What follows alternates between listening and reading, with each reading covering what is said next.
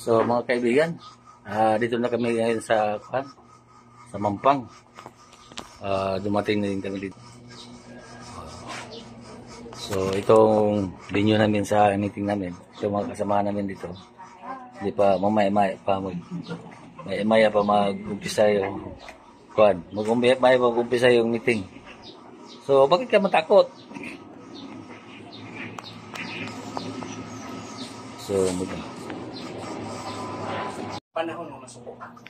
Kay ang kasuko, dili tagiya ang Diyos anak, ang tagiya na sa ito. Pag abot nga makasulod na sa imong kasing-kasing, magtinir na, magtinir kag pagdumot.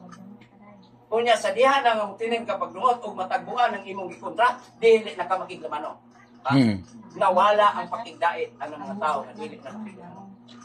Kay ang pakigdait mga igsoon, maunay makapatumba sa cross nga mo'y ato ang ah, kumpas tayo sa langit. Kay sa atong cross naa sa ubos ang pakigdait. Bantay mo mga igsoon nga dili mo tumba. Kay lisod na kay bangon ng cross. Oras nga matumba na. Kay ang punuan sa cross naa ang pakigdait. So muna mga igsoon, sa gingon dito sa pinadaya. Ha? Adunay daghan nga gibistihan og maputi nga nanakaw. Nangutana si Juan Riverado, eh, kinsa man yung mga tawhana, ingon ang manulunda.